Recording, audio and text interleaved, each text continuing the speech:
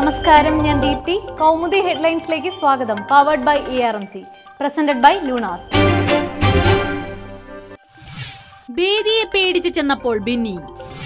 ഡൽഹിയിൽ കെജ്രിവാളിനെ പേടിപ്പിക്കാൻ കിരൺ ബേദിക്ക് പിന്നാലെ ബിന്നി. ആം ആദ്മി മുൻ നേതാവ് വിനോദ് കുമാർ ബിന്നിയും ബി ജെ പിയിലേക്ക്. കഴിഞ്ഞ തിരഞ്ഞെടുപ്പിൽ ആം ആദ്മി സ്ഥാനാർത്ഥിയായി മത്സരിച്ച് ജയിച്ച ബിന്നി പാർട്ടിയിൽ നിന്നും പുറത്താക്കപ്പെട്ടത് കൃത്യം ഒരു വർഷം മുൻപ് ലക്ഷ്മി നഗർ മണ്ഡലത്തിൽ ഇക്കുറി ബിന്നിയുടെ നാലാം മത്സരം.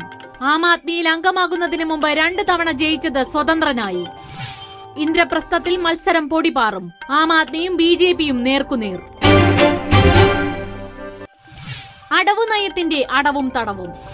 അടവ് നയത്തിൽ അന്തിമ ചർച്ചയ്ക്ക് വീണ്ടും സി പി എം. കേന്ദ്ര കമ്മിറ്റി ബി ബി യോഗങ്ങൾ നാളെ ഹൈദരാബാദിൽ. യോഗം പരിഗണിക്കുന്നത് കഴിഞ്ഞ കേന്ദ്ര കമ്മിറ്റിയിൽ സീതാറാം യെച്ചൂരി അവതരിപ്പിച്ച ഭേദഗതികൾ. യെച്ചൂരിയുടെ നിർദ്ദേശങ്ങൾ അടവു നയരേഖയിൽ ഉൾപ്പെടുത്തുമെന്ന സൂചന. നയങ്ങളിലെ പിഴവ് ഉൾക്കൊള്ളാൻ പി ബി തയ്യാറായേക്കും. ദേശീയ തലത്തിൽ ബി ജെ പിയെ നേരിടാൻ കോൺഗ്രസിനോടുള്ള സമീപനത്തിൽ മാറ്റം വരുത്തുന്ന കാര്യവും ചർച്ചയ്ക്ക്. തുടർക്കഥയായി ഖർവാപ്പസി. വിവാദങ്ങൾക്കിടയിൽ കേരളത്തിൽ വീണ്ടും ഖർവാപ്പസി. കായംകുളത്ത് മതം മാറ്റപ്പെട്ടത് ഇരുപത്തിയേഴ് പേർ. ചടങ്ങുകൾ വിശ്വ ഹിന്ദു പരിഷത്തിന്റെ നേതൃത്വത്തിൽ. വേദിയായത് വാരണപ്പള്ളി കിഴവൂർ യക്ഷിയമ്മൻ ക്ഷേത്രം. മതം മാറ്റിയത് തലമുറകളായി ക്രിസ്തുമത വിശ്വാസികളായിരുന്ന അഞ്ചു കുടുംബങ്ങളിൽപ്പെട്ടവരെ. കൂട്ടത്തിൽ എൺപതുകാരനും.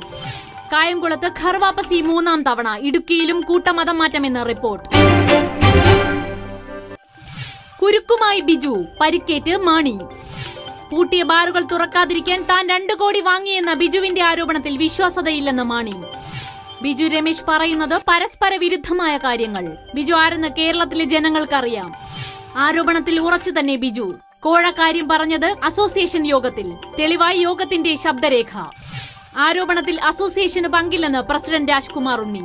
C B I അന്വേഷണം ആവശ്യപ്പെട്ട് ബിജു കോടതിയിലേക്ക്. Kaumudi headlines powered by A R M C presented by Luna സമാപിക്കുന്നു. അടുത്ത ഹെഡ്ലൈൻസ് ഒരു മണിക്കൂറിന് ശേഷം. നമസ്കാരം.